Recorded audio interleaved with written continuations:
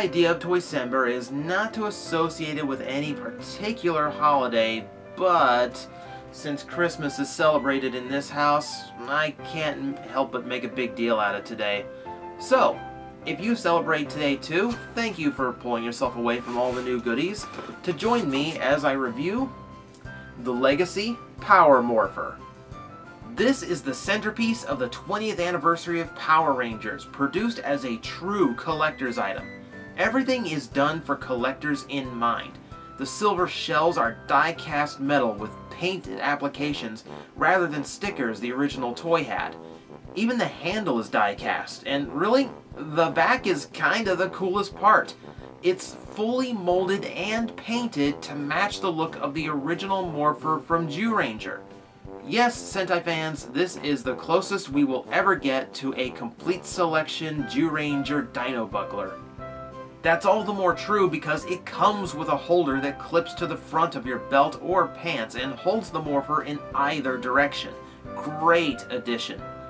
Then there's the power coins, also die-cast construction, and in this case heavily weathered with a blackwash paint job to make them look older. I personally think it's a bit too heavy, but it's a nice try. They can plug straight into the front of the morpher, no twisting them around like the original.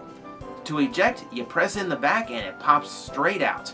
Much better than the old toy. Which I guess I should show. This is also a fair bit bigger, much closer to a full-size replica.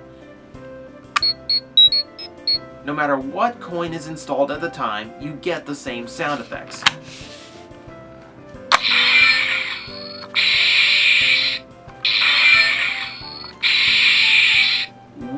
I honestly don't like the sound of.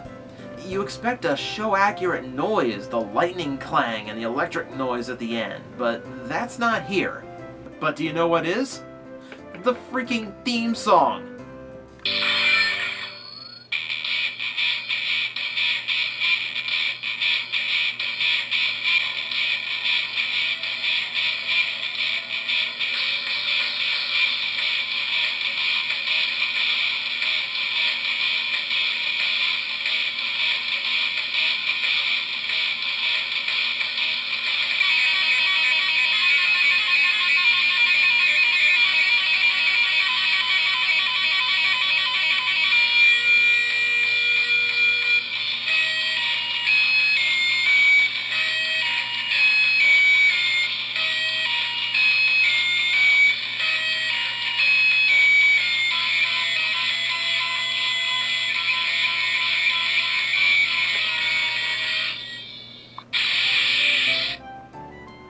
That is awesome.